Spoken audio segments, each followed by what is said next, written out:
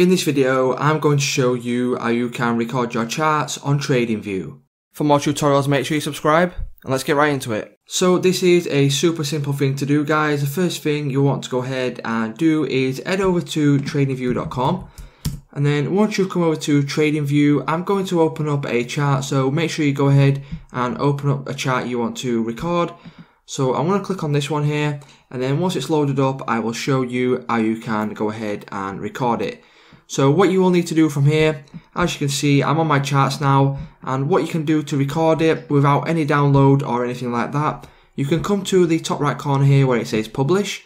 So share your idea with the trade community, and what you can do is click on publish, and then you can click on record video idea, and then once you click on that, you'll get this little pop-up here to, it's just a little intro to video publishing, so it will tell you like what you can do. So video recording is limited to 20 minutes in length, and you can go ahead and click on do not show this again and you can click on continue and then what that will do is it will bring up a option to go ahead and select the screen. So if you've got two screens you'll have two screens here and you can select which one you want to go ahead and record.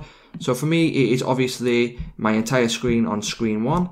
So you can click on share now and then once you click on share, as you can see, tradingview.com is now sharing your screen. So once you have done a recording, you can click on stop sharing right down here, or you can come to the stop button in the top right corner. So once you click on stop, as you can see, it is now um, processing here. And what you can do is you can click on download. And then in the bottom right corner, as you can see, it is now uploading and then once it's uploaded I will come back and show you what you can do. So it has now finished uploading and what you can do now is click continue to publishing and then what that will do is it will bring this up here where you can put in your title and your description and things like that. So I can go ahead and put in a tutorial for example and you can go ahead and give a brief description if you want to go ahead and publish it. So you can also select a category and you can go ahead and it can be trend analysis for example and you can go through and choose whichever is most relevant to your content.